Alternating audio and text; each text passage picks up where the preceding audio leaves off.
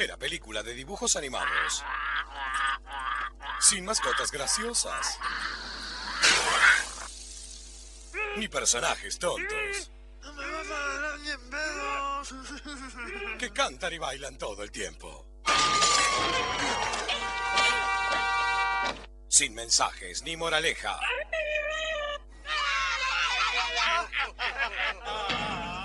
Mercano el marciano.